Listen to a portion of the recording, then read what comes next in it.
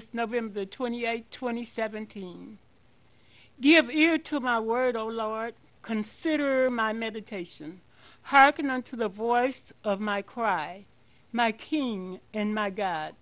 For unto thee will I pray. Heavenly Father, I thank you for allotting this time to me. Please untangle my tongue so that I can speak your word, so that it leads some soul to you. Father, forgive me of my transgressions. My name is Naomi Miller. I am a Bible teacher, and I am doing a series we can read now. Of course, God created us, and our slate was empty, or you could say innocent. As soon as we learned to talk, we started asking questions. Where did the animals, the trees, the birds, the bees, where did they come from? We wanted to know who made these things, and then we wanted to know who made us. I'm sure that little mothers and fathers' answer was God made you. I believe that all people at one time believe that there is a supreme entity. The next question is who is God? He is the king of the universe. He is the one who sets standards. He is unseen, but still has authority. He is omnipotent. He is omnipotent and omnipresent. God made you the first computer. He made you so that you could make choices. God didn't call you a computer, He called you mankind. You can serve the Creator who designed you, or you can do as you please and disobey, and follow other gods. Just like the computer, what you input determines what comes out. That is the way life is. If we start doing good things and being righteous, we will find ourselves doing more and better things each day, but in a godly principle. Many of the people in the Bible were farmers, so they talked about planting seeds. If you planted a few seeds, you would expect the harvest to be more than the seeds that you planted. Maybe you would have two times as much, maybe four times, even maybe ten times. So if we encourage our children to start doing good things, be kind, love people, help whomever you can, and you see these good deeds will grow. You determine your destiny. We need judges, teachers, preachers, presidents, and just leaders of righteousness. We all have business. You probably don't call you probably don't call life a bus- business. But when you are young, your business is to go to school and learn all that you can. Later, your business is to get a job. Then you have to run your business. You have to buy food, pay rent, pay gas, and water. If you have a car, pay the car bill and put gas in. If you don't have a plan, you won't get very far. You will be like this saying I live on a one way street, also a dead end, and I don't know how I got there, and you don't know how you're going to get out. We are going to the book of Romans, chapter 10. Paul said, My desire, my desire is that Israel be saved, but they have a zeal of God, but not according to knowledge. For being ignorant of the gods, righteousness, and going about to establish their own righteousness. Paul was talking about the people in that day, but that's also today. we we believe in God, but we don't want to follow any rules. we don't want to follow any rules. The word the, the word is nigh, and even thy mouth and in thy heart. That is the word of faith which we preach. That we shall confess with thy mouth the Lord Jesus and believe in thine heart that God hath raised him from the dead. Thou shalt be saved. For with the heart man believeth unto righteousness, and with the mouth confession is made unto salvation. For the scripture said that whosoever believe on him shall not be ashamed, for there is no difference between the Jew and the Greek. For the same God over all is rich unto all that call upon him. For whosoever call upon the name of the Lord shall be saved. Paul talked about being ignorant, being ignorant of God's righteousness. Today, most people would be insulted if you called them ignorant. Ignorance simply means not knowing.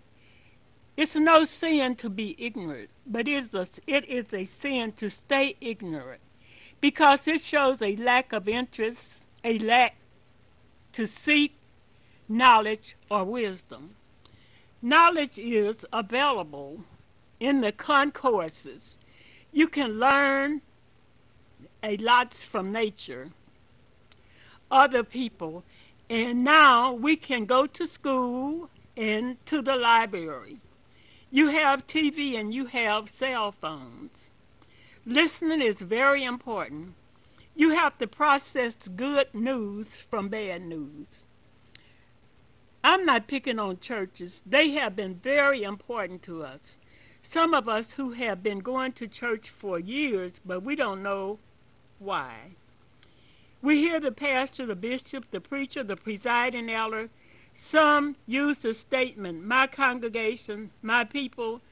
This is not bad if you know that God is the head of the church. The church has to do with man's relationship to God.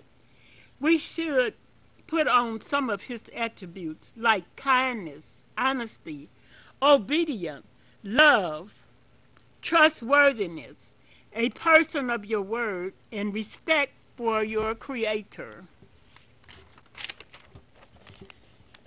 A relationship with God is about religion. Religion is not alone in our lives. We have to be aware of our surroundings. John in the book of Revelation called these entities beasts. They are religion, education, politics, and economics. These things direct our path. There have been more wars fought, fought over religion than the other things. You can hear in the news. Now, somebody went to a church in Texas and killed and injured many people. Someone went to a mosque in Egypt and killed 400 or more people. Some say you should worship my God I am right, you are wrong. We don't say we should worship Satan. We know the deceiver is the head of these churches and the world. Are these religi- religions because they break all rules? Thou shalt not kill. Thou shalt not covet. Politicians have to go with things like the has to do with things like the government, kings, presidents, emperors, judges, police, laws, ordinances, and rules. So God bless you with a new car. Thank you, Father. But you get in your new car and drive 100 miles down a residential street. So the police chase you. You have to go before a judge. You might have to go to prison. Christians and everyone else is supposed to obey God's law, and they are supposed to obey the laws of the land. Morality means choosing right from wrong. Thou shalt not kill. We care very little about life. If, if you shoot in a crowd of people, it is evidence that they have done you no harm, but you think, you think of them as a thing or object. And some people are not sorry until the police come. And the only reason that they are sorry, they are only sorry because they got caught, not because they killed someone's loved one. Satan is the king of this world, and he is well and alive. If you don't resist him, he will have you working for him. God warns that the devil deceived the whole world, and he was cast down to earth. I listen to the news, and I wonder how many people notice that the politicians from Alabama, Alabama use a new word. He said tribesman. It is not new, but he used it in a new way. Usually, the people say tribes, they mean Africans, Indians, original people of Australia. But this preach, this uh, politician was referring to the an- angelic church, or I don't know if he was refer- referring to the church or if he was referring to his community. He says tribalization. so we, we're not sure exactly what he meant. Do you think some of our churches practice tribalization? Do you think that uh, sometimes the preacher tell us that he doesn't he doesn't give us the word? You know, I think that everybody really mean well when they have a church. I, I don't think they go out. I don't think that they start out to make people stumble, but some of the things that they do, it, it will make you stumble. Uh, I have a post box now. My name is Naomi Miller. My post box is 23133, Detroit, Michigan 48223. you could drop me a line uh, if you want to. Education is one of the dynasties or the beast that John tells us about. We want to raise our children the best thing that the best way that we can. It is important to you. You see, the smarter your child is, the less worry you have. A disobedient child can make mom and dad cry. If he is well disciplined, his life will be easier. Teach them to obey, to obey you. Teach them to obey the babysitter. Teach them to obey the, the teacher. Every child will not go to college, but he can ask God for help to give him skills. We don't expect all of our children to go to, to heaven. I mean, or we don't expect all of our children to go to college, but we do expect them to be able to take care of themselves. You know, when we send our father were in slavery, we did and made all of the things in America. We didn't get paid, and we didn't go to school because they wouldn't let us go to school. But now we don't have we don't have that we don't have that problem. Companies right now sell peanut butter that was made by George Washington Carver. He did go to school, but he had a hard time going to school. And do does anybody know that George Washington Carver's mother was stolen and taken into slavery because they lived in Missouri where they had no they, where they had no slavery but the slave riders came and stole his mother and left him and his brother with a white German man. One of the things about the beast that that uh, John is talking about when he said uh, education, we know that we have fought many battles over education. They don't want us to go to school, and sometimes they don't want us to learn now, or else they don't want us to learn as much as they learn. Politics, we want to talk about politics. Did you know that uh, the prison system, they get paid for each one of you who go to prison? Have you thought about that? Have you thought about that that's slavery all over again? Have you thought about when we think about a beast, we think about a big animal. But John called these things beasts, and they are beasts.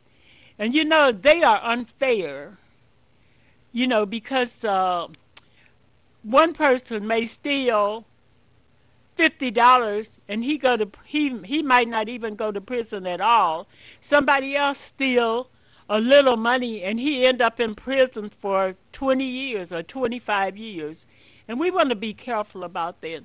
We we want to we want to look at what's going on in the world.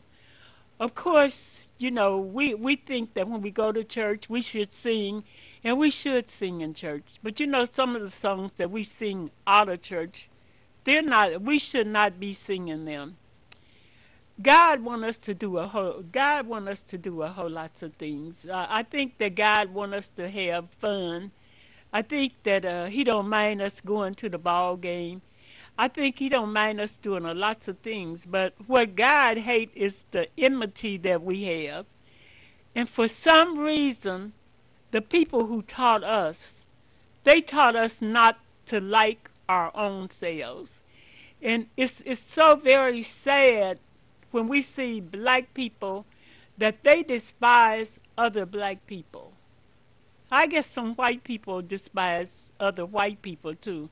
But it seems it seems like that we think that being white would make give us a give us a few points.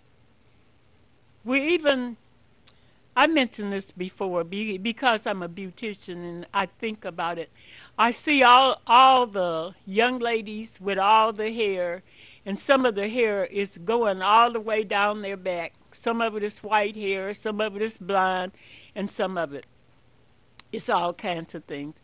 I don't think I don't think that uh, you know one time when uh, when uh, I was going to church and uh, my preacher he came he was about 50 years old and he came he had his hair curled and so uh, I was saying you know that preacher is too old that preacher is too old to have his hair curled but finally I thought about you know just getting your hair curled alone does not make you a bad person. Uh, wearing the clothes that you wear don't make you a bad person.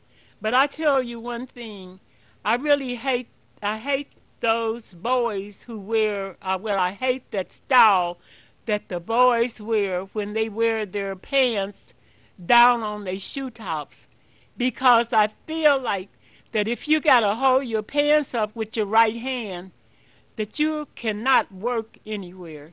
So we just want to see can we do can we do a little better? You know, we we have we have we have money to buy things and we need to have prioritized prioritize the money that we have. I'm just gonna uh, read this poem again. I read it before. The word alive and applied. Uh, applied. I, ch- I can't stop loving you. You are always on my mind. Life bring back memories of days gone by. I just can't condone the things you do. I just can't stop loving you, oh no. It hurts so much when parents, unaware of the harm they do, teach their child to hate. What about what we used to teach? Good morning, thank you, and please and excuse me. Have you forgotten? Stop on the red light. Look both ways and walk on the green. Don't bother other people's stuff and put pick up and keep up with your own stuff. We all share the same world, regardless of color, sex, height, weight, health, rich or poor. Learn to be grateful and learn to share. All of us are using borrowed time if you misspeak or fall or fail, get up and try again. We have a Father who knows that we are not perfect because He made us. And so we want, we want to take the time to see if we can learn. I want you to be aware of the things that's happening every day. We see the new president we got. We see the things that he that he says and the things that he do and he gets by with it, it seems like that we are going backwards. But we can't we can't follow him. We have to learn to stand on a point our own self. We have to do the best that we can. We have to learn to spend our money for wise things. It has just been Black Friday. Everybody went out shopping. We buying uh, lots of times we are buying things that we don't need. And sometimes we even buying things that we don't want. So we want to start uh, thinking about what should I spend my money for? Should I spend it to pay my gas bill? Or should I buy a dress that costs $300? Or should I get a PlayStation? Or all of these things. We want to see if we can make a difference in our race. We know that we had a hard time. We know that we are taught, we are treated specially. And we're not treated specially good, we are treated specially bad. Even Kwame Kilpatrick, he lied, he stole, and a lot of other people have lied and stole. But Kwame was overcharged because they try to fix it so that he would be so old when he get out of prison he will not be able to do anything. That's not being fair. The world is not fair. And we have to work on these things. We have to see if we can make a difference. We have to see what can what can we do. Do we do we know that even in the ghetto, we don't have we don't they call it the ghetto, but we can just call it a we can just call it our house because we can clean it up, we can live in there, we can be warm, we can be com- comfortable. Abundant life does not mean being rich. It means being comfortable, being satisfied, having comfort, you know, and having enough food to last. You know one thing about the city of Detroit, when when uh, Thanksgiving come, all people all around and churches and everywhere, they are giving away turkeys and giving away food. You know, that's one good thing about the city of Detroit. But some of us, instead of accepting food all the time, we're going to see can we give a little food? Can we do something to help somebody? Can we help our children? Can we help our neighbor? Can we help the people at church? Can we go to school and help the teachers? Can we, we need to do we need to learn to do some of these things because we are falling far behind. I went to, I have this my program we can read now because we need to know how we were treated long time ago. If you know how you were treated long time ago, you don't want to go back over the same things that we had long time ago. We want to do different things. We want to work for a different thing. We want to work for a house and a car and whatever. We want we want to work for these things. And don't buy a car that you can't afford. If you have Burger King money, buy a Burger King car. Don't go out there and try to buy a BMW when you don't have the money for it because it's only going to get you in trouble. So we want to we want to see can we do all these things. We want to we want to we want to we we need our churches. We need our other organizations too.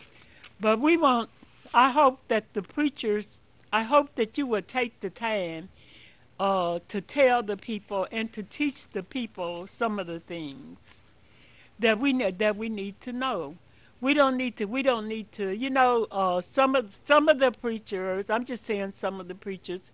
I don't. I don't want you to think that I'm picking on preachers, but I, I know the preacher at our church. He used to go to the convention.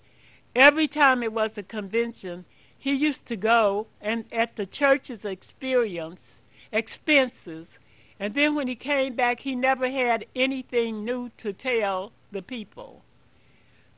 Well, we need we need we need to take advantage of the time that we have, and we need to try to learn things. We need to see can we teach our kids. We need to see can we teach each other. We need to see can if we on the wrong path, we need to see if we can get on the right path. This is this is this is what life is all about. We don't want we don't want to go back into slavery. Or do you guys want to go back into slavery? You know, all of you guys have I mean, some of you guys have a gun and you go down the street shooting in people's houses and you shoot people. Well, when you go to prison that is slavery. So we want to see can we do can we do a little better. We don't really we don't really we don't really need guns because if I had a gun and somebody is taking my car, they probably would end up taking the car because my gun would probably be in the glove compartment and I couldn't get a chance to use it. So we want to see what, what we can do. Can we do better? Can, since we can read, you got you got your cell phone, you can get information on that. You can go to the library and you can you can learn. So we want to see what we can do. So I will see you. I will see you in December. It, it's December because this is the last of the month. And I told you that my post office box is 231 133 Detroit 48223, and my name is Naomi Miller. Drop me a line sometimes. Thank you.